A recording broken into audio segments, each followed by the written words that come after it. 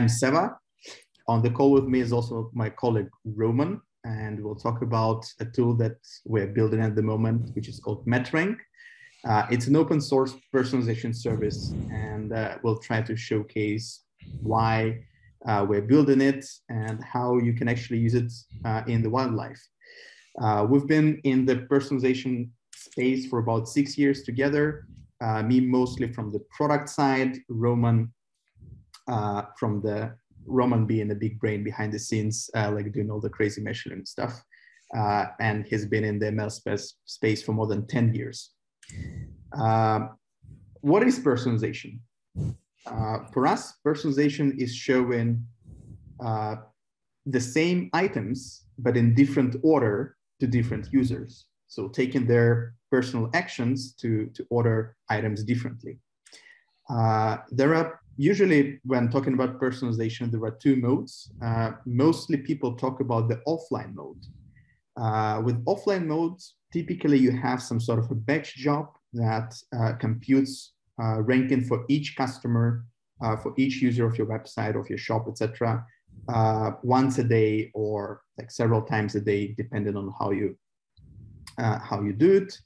Uh, with online ranking, however, uh, all the calculation happens almost in real time. So depending on what the user does directly uh, on the website within his session, uh, the ranking will change almost immediately. Uh, I don't like the word real time, but it, it's almost real time.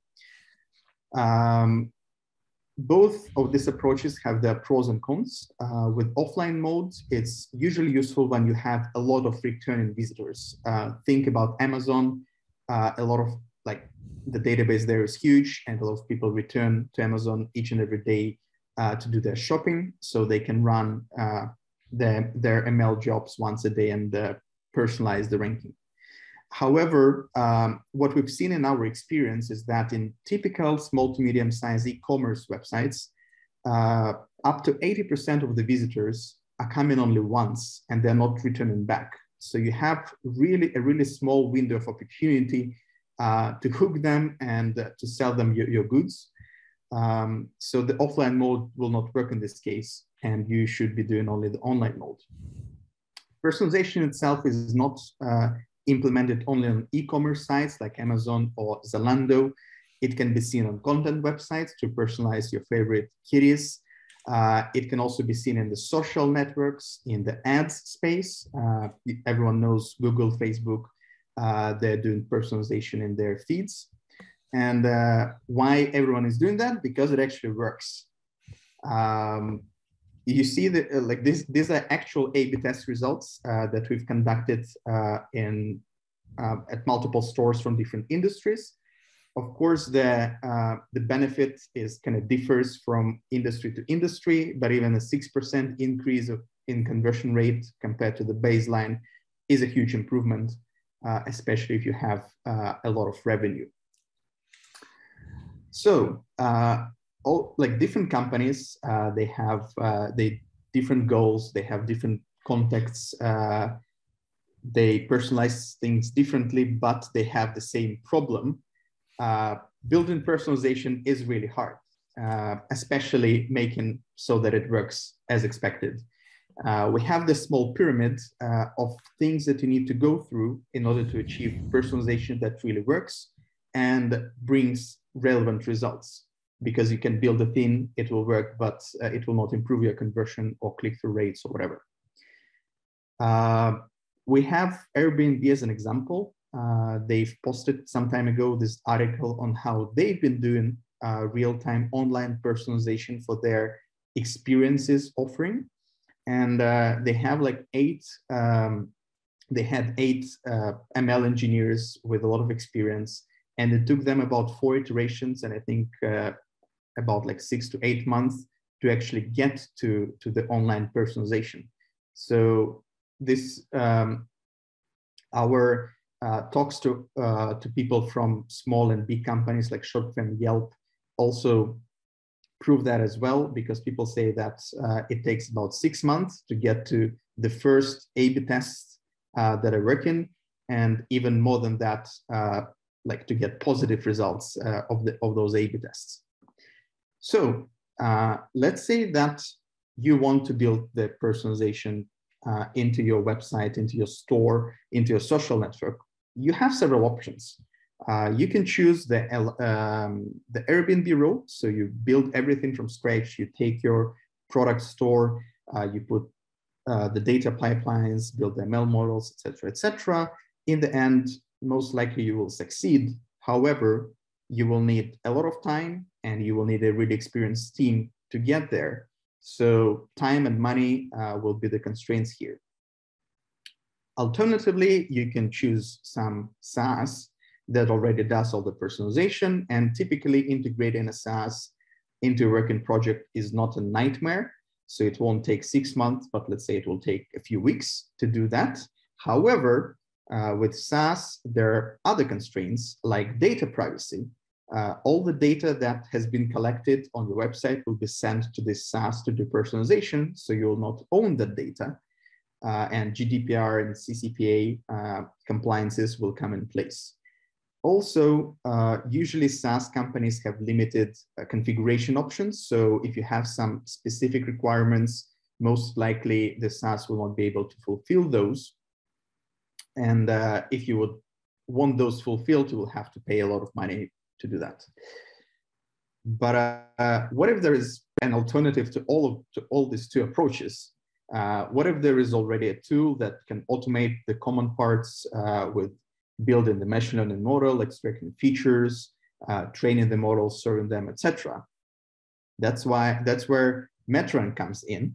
Uh, MetaRanks uh, tries to automate the most common parts uh, of those of the, those personalization steps, and uh, we try to implement only the ones that are essential to get to personalization. So we have the feature store in place, but it's it's a minimal feature store that uh, satisfies only, only the needs of personalization uh, in the case of MetaRank. And uh, Roman will tell us how this works and how you can use it. Yeah, so MetaRank is essentially as an it can be treated as an oracle. So you ask it how these items should be ranked in this particular context, and it will try to maximize some sort of a business metric like CTR. And uh, it bases this bases its predictions not only on the real-time data coming right now, but also on some traffic history. And it's actually based on some modern and uh, hyped approaches on the design of machine learning systems. So there is some sort of a feature store inside. Uh, we gave another talk about feature store inside the, on, on another meetup, so you can Google it on Google it on YouTube. Uh, but the general idea of the MetaRank is that we made uh, just some technical part, which tried to technical thing called feature store, uh, which uh, uh, whatever. So MetaRank is just a wrapper on top of feature store, just the data schema, the feature config, and some business uh, uh, business uh, logic to update some different machine learning features. So uh, it's an open source tool. It's a single jar file. Uh, you can run it locally. You don't need a Kubernetes cluster just to play with it. And uh, the MetaRank itself has two important parts, not parts, but more like modes of running. So it can run in offline mode to ingest your historical data and online mode to do the actual inference. So to play with MetaRank, you need some sort of historical data about your customer behavior you need to ingest it and process it. You need to train a model and switch to online mode to start serving all the data you already processed. Uh, so MetaRank itself is a secondary ranking system. So it won't do search for you. It won't compute recommendations. Uh, so you need to some second first layer of ranking uh, being available. So in case of search, it should be Elasticsearch. In case of recommendations, it can be some static pre-computed recommendations made with Spark ALS, with LightFM, or whatever you want. There can be even just Postgres in case if you need to personalize some like a layout of a blog with different news. So, but still, it just this it's generic enough and agnostic enough to different types of content. It just operates on the level of identifiers, and we wanted to have some sort of a sample problem for MetaRank so we can solve it together during the slides. So it's not like a live coding because it's just too scary for me. Uh, but we want to do some sort of a generalized ranking problem uh, solution with MetaRank. So imagine that you have a search uh, and you're searching for socks. So in a perfect world, you just have Elasticsearch with the different documents there with different fields. You search for socks and you get a BM25 score at the, at the end. So it's quite easy to understand how it should be ranked. But the generalized ranking problem is more about how can you mix the text relevancy with some extra business level parameters you can get from outside. So what if we know that, uh, what if we want to use different weights for matches over title or over description field?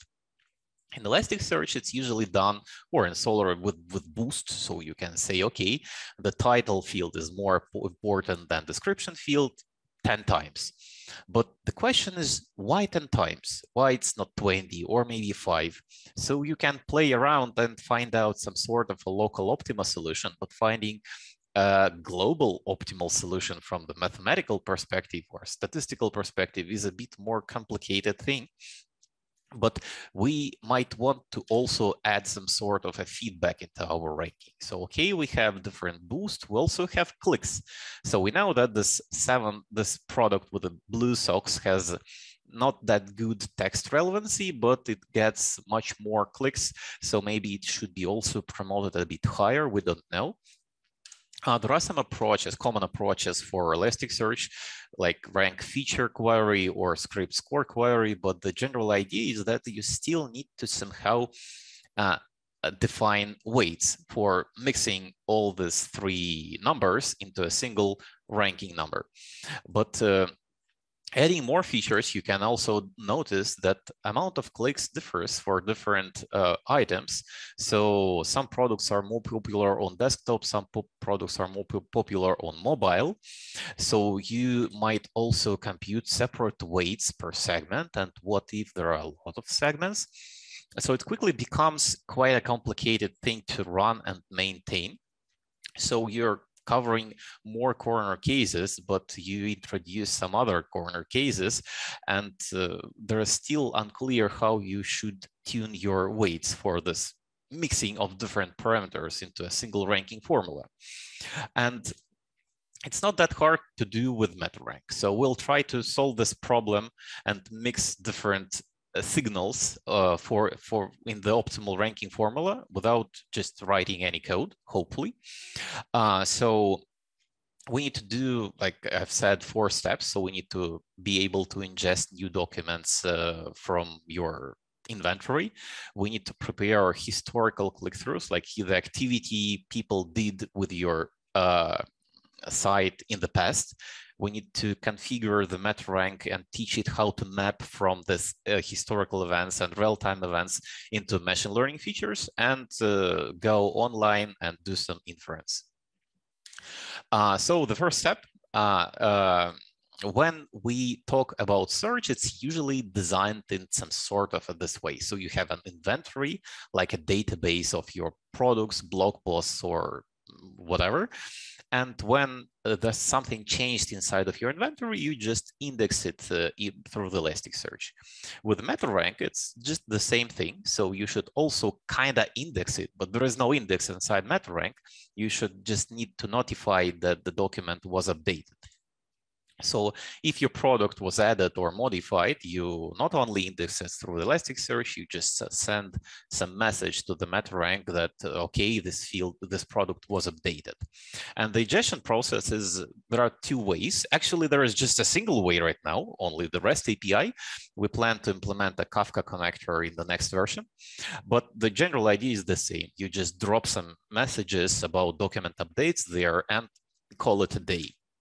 And the example of this document metadata message is like this. So there are a couple of required fields like the identifier of uh, item and the timestamp and some uh, information about fields. For example, it's a title, price, color, and availability. And we're going to try to use these fields later in the ranking.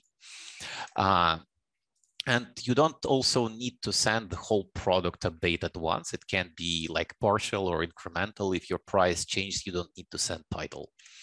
And uh, uh, let's then prepare our historical data for, for the training. So we are focused on this particular part of, uh, of our architecture. So we need to have two extra things about customer behavior in the past, like rankings, what was there displayed to customer and how customer interacted with this ranking. So clicked, purchased, add to cart, not really important, but it's still some sort of a feedback over a ranking. And example of this ranking event also, it looks like a metadata event, but with some extra small differences. So there is a user and session information. You can put a query, but it's still like a fuzzy thing. You can put any field you want. And uh, there are items with their relevancy. The relevancy is that the signal you got from the first level of ranking. So it can be BM25 score coming from Elasticsearch, or it can be some cosine similarity from recommendations, or it can be omitted at all if there is uh, nothing known about relevancy. And interaction looks also like this almost the same, but with some minor changes, like there are, can be different types of interactions, like clicks, getting uh, cards, purchases, but you're not limited to any strict schema. These are just strings. And there should be a reference to the parent event. So we can join them into a single click through, like you know, these items were displayed and then someone clicked on a this particular item. So this metadata updates, the rankings and interactions should be like in a file in a JSON-L format. It can be or HDFS, S3 local file system compressed, uncompressed, it's not really important. So you just need to be, be prepared for the future processing. And the next step is just to explain how these events can be mapped into a machine learning model. So the idea of MetaRank is just to have a like a Lego blocks. You have a different uh, feature extractors which can map typical, solve some typical and small problems some, uh, of converting these events like parse user agent, parse uh, refer field, or do some customer profiling, compute counters or rates or whatever. So you can just combine them together, do a bit of a YAML code writing and call it a day. So let's just write some sample configuration for that. So our metadata event from the previous slides got a price. So why don't we just take a price from this metadata event as is and put it uh, into a feature called price. So the type is actually the type of feature extractor. It's called a number and it scopes it into the item. So it's an item feature. Uh, okay, we can do some more complicated things like take a color field, which is actually a string and we cannot use string as is in a machine learning model, we need to convert it to some sort of a number. As a color is a low cardinality thing, we can do just a one hot encoding of it to a vector of three. So it's red, green, and blue. Uh, we can go further and take this relevancy uh, parameter out of the ranking for each product and also use it as a part of our ranking formula. Uh, we can also take some fields from there, like user agent, or for example, refer field, and also parse it and one hot encode it as a mobile, desktop, or tablet. So it will be just three different features like a flags, depending on what was in the original user agent. We can do counters. So for example, with the interaction count feature extractor, you can count all the clicks happened on a specific item. But this type of counter is global one, so it's not really a good idea to do because it will be always increasing. So we need some sort of a time bound. And there is a window count type of uh, feature extractor, which does exactly this particular job but it's configured in a more complicated way. So you not only need the name of this feature extractor, but the bucket size and how just windows of uh, number of buckets. So it's essentially seven days, 14 days, 30 and 60 days rolling window counts for a particular item. I forgot to put scope item here, sorry. But anyway, there is a correct version in the docs. And uh, we can also do some sort of a, a per field matching. So our ranking event has a query parameter. So like what if it's a ranking and it is a search results, we have a search query. So we can intersect this ranking field, the query field, with all the titles of all the items in the ranking and using the ngram method. Unfortunately, there is only ngram methods right now supported. We plan to do some Lucene stemming to make it more robust. And you can do the same thing with the description field. So at the end, if you unfold all these feature extractors into a single table for our uh, ranking events and clicks happening on this ranking events, you will get something like this. So there are multiple items and there are different features like, okay, description field uh, matching the title, the price, different colors, different platforms, and different time windows for a number of clicks happened on this product. So you just have a different giant table of features. But on a historical uh, data processing part, you also know that for this particular ranking, the visitor uh, clicked on the product number three so it means that, so according to the cascading click model, we assume that item one and item two were examined, but not clicked. So they are actually negative uh, implicit feedback. And uh, item number number three is a positive implicit feedback. We don't have no idea uh, what should we do with the item number four because it was probably never examined. So we're not taking into account. And this table as this can be just folded into a Lambda Mart model like XGBoost or LightGBM. So we support actually both, but uh, more focused on Lambda Mart or LightGBM right now. Uh, so uh, we did all the configuration part and let's just discuss how it should be integrated at the end. So it's still the same way as for the as any other secondary ranking, ranking uh, system. So you, for each search query, you send your query at first to Elasticsearch, and then uh, they take top n candidates from there, send it to MetaRank for a ranking, and uh, call it a day, but you also need to send a stream of metadata rankings and interactions.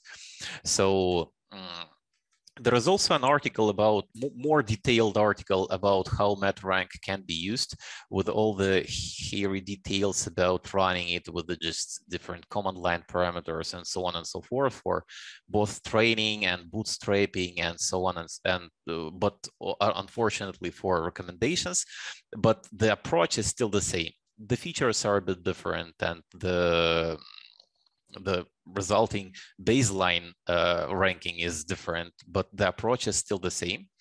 Uh, so the current status of MetaRank is kind of an alpha. We have a demo, uh, so I'm going to try to use it. It sometimes crashes, but still it's always fun. So demo is about personalizing movies. So we have a, ah, so uh, we'll refresh the page, sorry. So my session will be reset. So what's going on in this demo? So there are different tags. Uh, and if you click on something like a fantasy, you will get top uh, movies for this tag, top by sorted by popularity.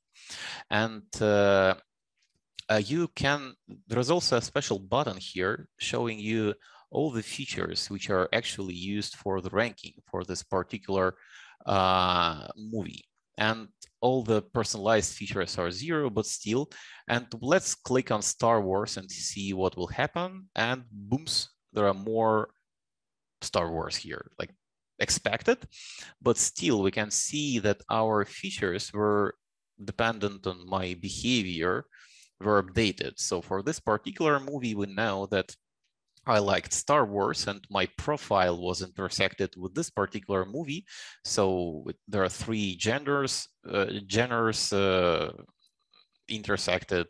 Actors are the same, tags, director is the same. So probably I might also like this um, this movie. It's based on some uh, real data set uh, we built with the Toloka AI platform with the real customer, with the real people. So it's not just some synthetic data set, it's an open source. You can go and check on our GitHub. Uh, but we still have quite a large backlog of things we need to do. So for example, the distributed node, we the backlog is large enough, but still the we build this tool to solve our own problem because it was painful for us to build yet another learn to rank system. But we found that it can be also useful for other people. So if you feel that it seems sounds interesting for you so you can ping us describe your use case. If you have any problems and probably you will report them on github. So you can star us on github. Uh, it's an old screenshot. We have much more stars right now so it's not that bad. Uh, so we have a slack if you want to talk to us and linkedin follow us there. So uh, that's it. Thank you for listening